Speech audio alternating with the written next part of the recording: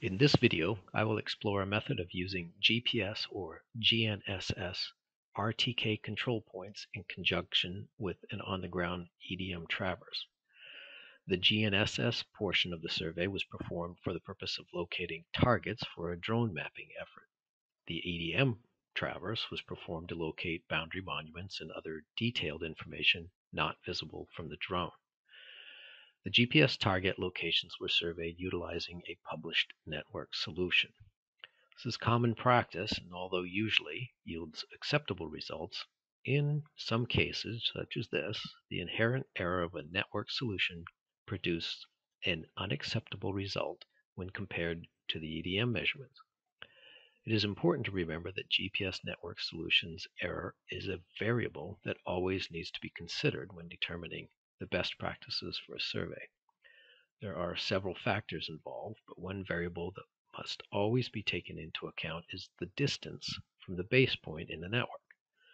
The further you are from the base point of the network to your site, the greater the error and the more need for correction or an adjusted field procedure.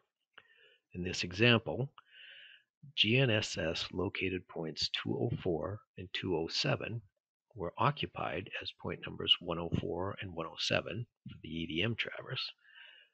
The traverse was then run around the building, locating monuments in detail, and then closing back into GPS points 213 and 214.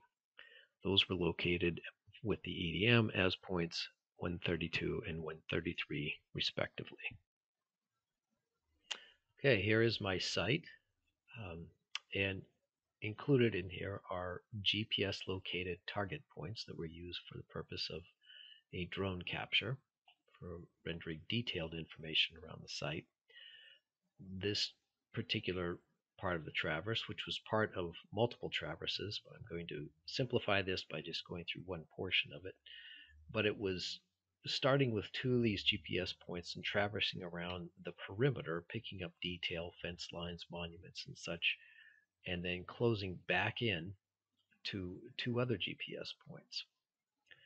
And you'll see that the inherent error that there is in the GPS survey um, produced results that weren't quite tight enough for what I needed for a boundary survey. And that is due to the fact that I have inherent error in the original points, and you can tell that by when you set up on one point, backsight another point, there is error in there.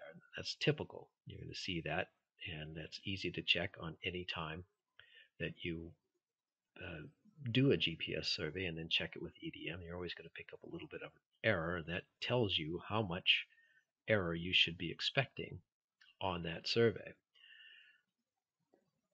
So I've opened up a brand new project using SurvNet and this is the SurvNet dialog box. I have other videos out that show you more detail information on starting SurvNet from scratch.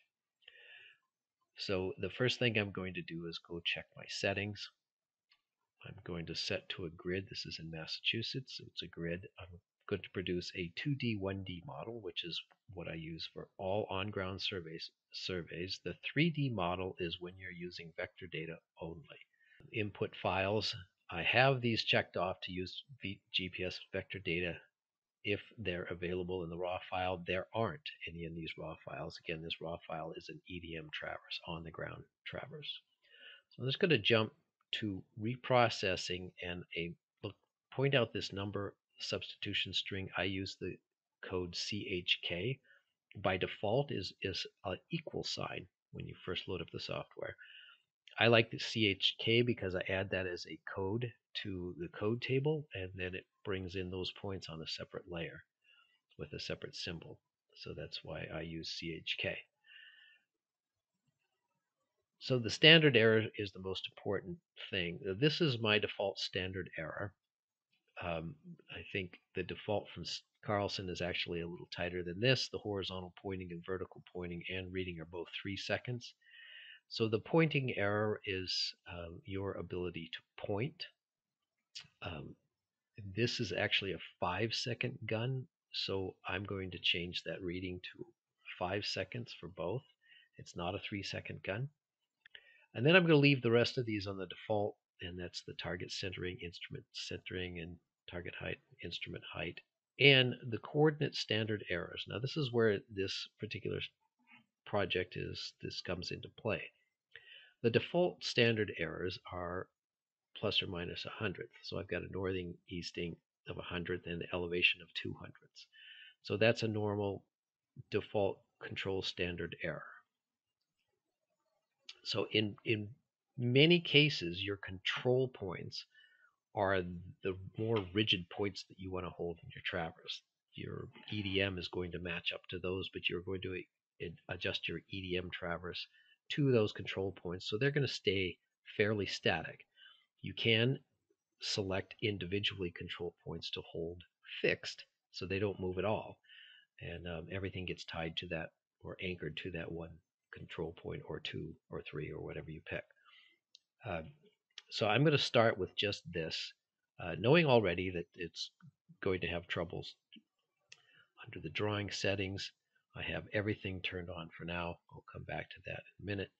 And for output, I am not storing coordinates yet. I always like to do the uh, adjustments first, and then when I'm happy with everything, the last step will be to store those in a coordinate file. I'm going to hit OK. And I'm going to add in a raw data file. And it's this file here, which is the field adjusted traverse. Just going to go into this file and take a look at it. You can see I started with point number, or the crew started actually, shouldn't take all the credit for this, started with point 104 and 107, and what they did is they entered in the GPS target uh, coordin coordinates for those two points. So that's their starting point, and they looped around this traverse. I have the side shots turned off for simplicity. I can turn them on just to show you the amount of detailed information in there, but I like a clean screen to work with. So I turn the side shots off.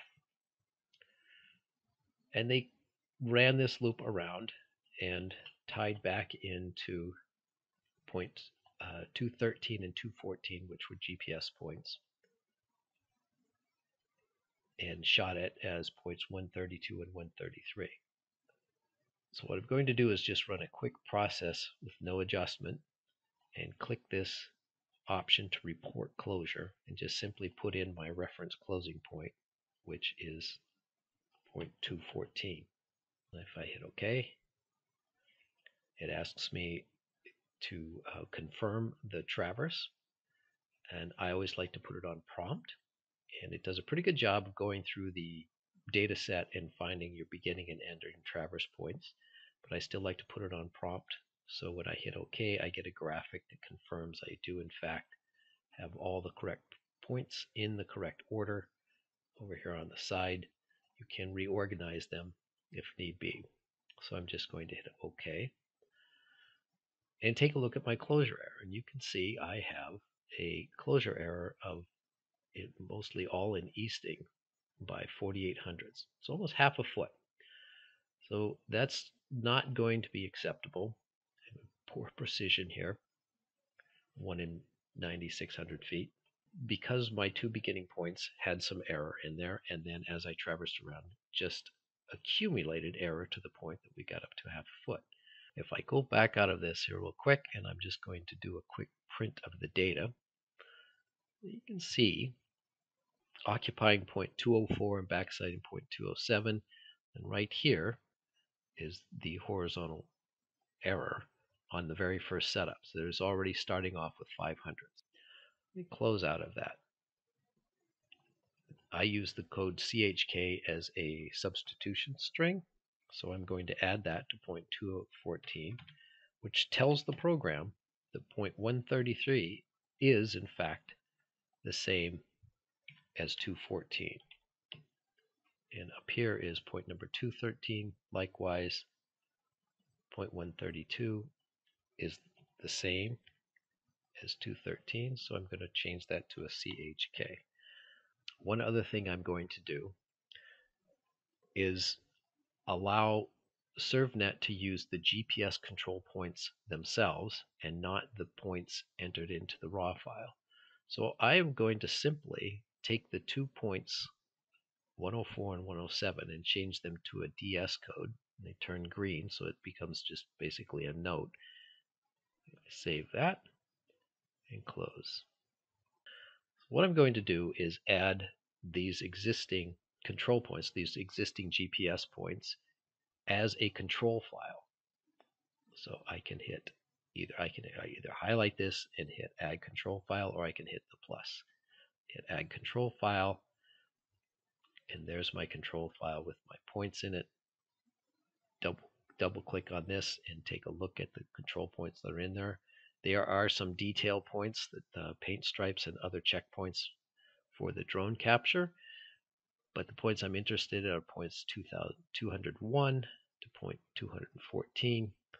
So the first thing I always do is a blunder detection. And I reprocess the data and I put point proximity search up to a tenth. So it will find any other possible redundant points. By looking at the error report, I can scan the raw data and examine horizontal and vertical errors that exist. All right, I'm going to go ahead and try to process this now. See what I get for a result. I click on my results tab, you can see here that it's failed the chi-square test. And I'm on the high end of things. So that's definitely something I want to take a look at. I'm going to print this out and look at this results a little bit closer. I can see that the standard error of weight for both the coordinates and distances are well beyond the value of 1, meaning that the program is weighting these values to a greater extent than what is expected from the standard errors entered. In other words, the data is not meeting the expected results.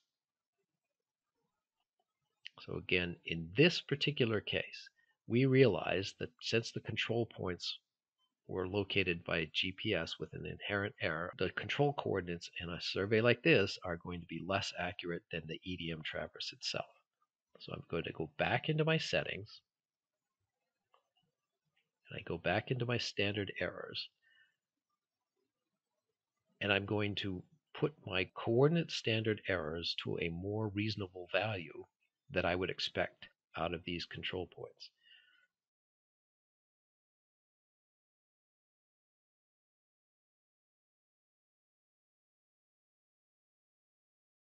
So what this does is set values to the point that my EDM measurements will have be weighted more heavily than the control points themselves. I'm just going to go ahead and draw this network just so you can see what I have. And I'm going to quickly go back into my drawing settings here and let me just turn off the side shots and the side shot lines. Okay, just redraw that. That simplifies things, but you can see the size of the error ellipses getting larger as we head towards these control points. So now that I have changed my control standard errors, I am going to readjust this.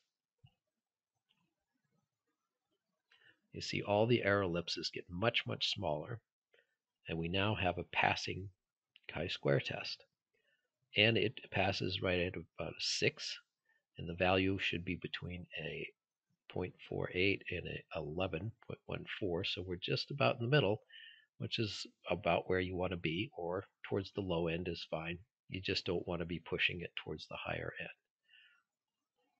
as an added test I can run the Alta report by going back into settings under adjustment I click on relative error points file this is for the a setup for the Alta report.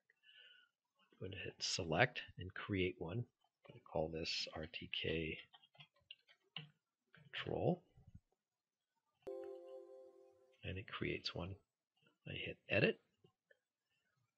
And I'm going to add the point number connections which matter to me the most. Now these are going to be all my traverse points, uh, side shots, and GPS points. Those happen to fall into the point range of point 100 to 299. I hit add by point number. If there were individual selections that I wanted to make towards other side shots and whatnot, I could add those in there as well. And I hit save and OK. And I process one more time. If I look at my main report, now I can scroll down and here's my Alta report. My and here's the Alta requirements, and that is plus or minus 700 at 50 parts per million at 95% level.